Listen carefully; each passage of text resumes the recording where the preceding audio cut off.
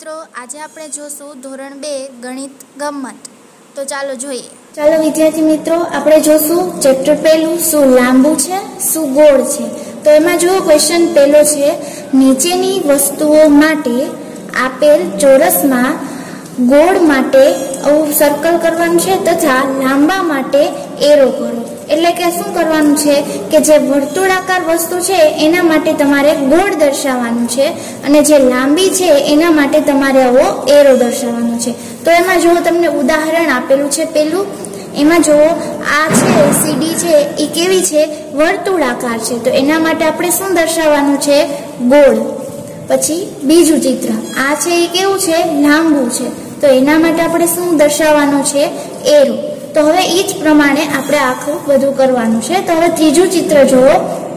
એ કેવું છે? વર્તુળાકાર છે. તો એના માટે આપણે શું દર્શાવશું? ગોળ. હવે ચોથું ચિત્ર. આ ચિત્ર જુઓ, કેવું છે? લાંબુ છે. તો એના માટે આપણે શું દર્શાવવાનું છે? એરો.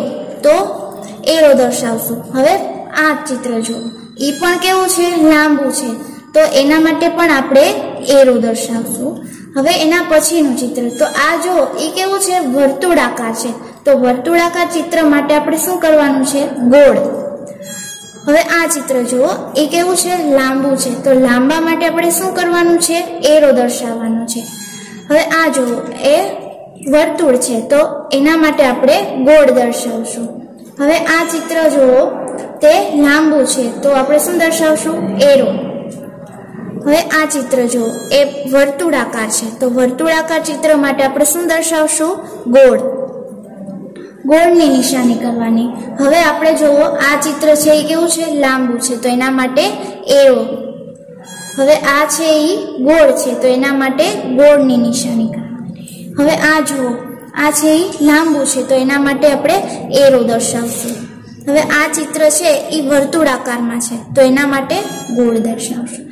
હવે આ છે એ લાંબુ છે. તો એના માટે આપણે શું દર્શાવશું? એરો. હવે વિદ્યાર્થી મિત્રો, તમને આવડી ગયું હશે, તો તમારે ઘરની આસપાસ વસ્તુઓ પારખો અને જુઓ, નિરીક્ષણ કરો કે કઈ વસ્તુ ગોળ છે અને કઈ લાંબી છે. ચાલો વિદ્યાર્થી મિત્રો, હવે આપણે જોશું આકારોની સમજ. તો એમાં જુઓ, આ આકાર છે એ કેવો છે? ચોરસ છે. પછી આ આકાર છે એ કેવો છે? લંબચોરસ. આ છે એ ગોળ છે. પછી આ આકાર છે એ કેવો છે? શંકુ આકાર છે.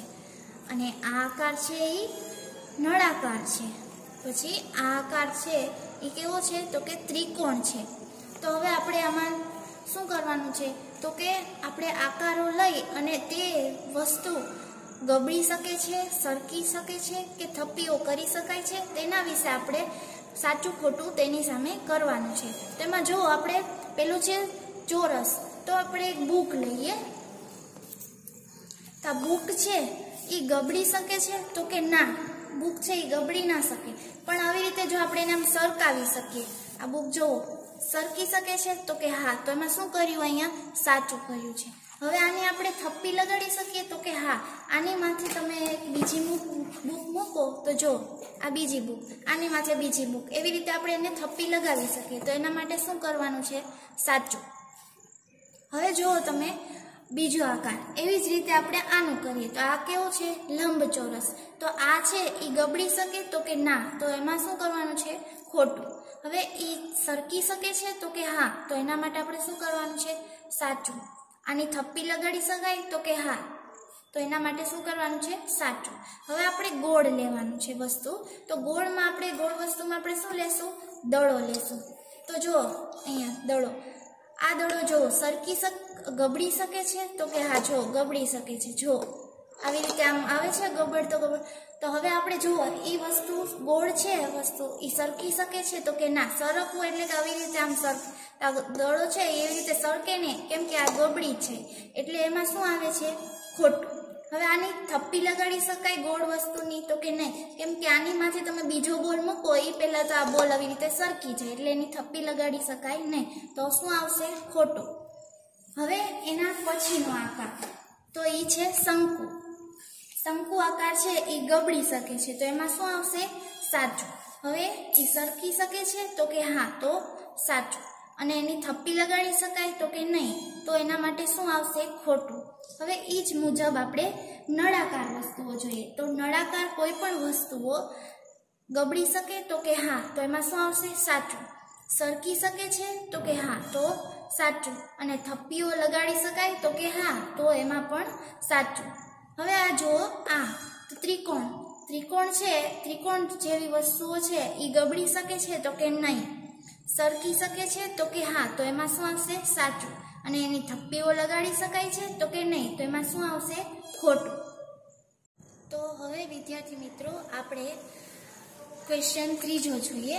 નીચેની વસ્તુઓ માટે આપેલ ચોરસમાં ગબડતી, એટલે કે રગડતી વસ્તુઓ માટે તમારે આવું ગોળ કરવાનું છે. તથા સરકતી વસ્તુઓ માટે ખોટું કરો. તથા ગબડતી અને સરકતી હોય તેવી બંને વસ્તુઓ માટે સાચું કરો.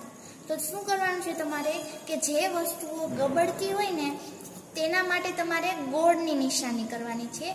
જે વસ્તુઓ સરકતી હોય, તેના માટે તમારે ખોટાની નિશાની કરવાની છે અને જે વસ્તુઓ ગબડતી પણ હોય અને સરકતી પણ હોય, એવી બંને બંને થતી હોય એવી વસ્તુઓ માટે તમારે સાચાની નિશાની કરવાની છે.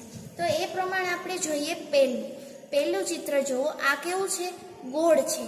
તો ગોળ વસ્તુઓ છે, એ આપણે ગબડી શકે છે તો એના માટે તમે શું કરશો? નિશાનીમાં ગોળ કરશો.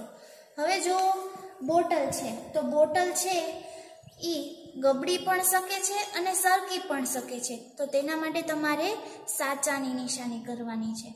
હવે પેન્સિલ છે.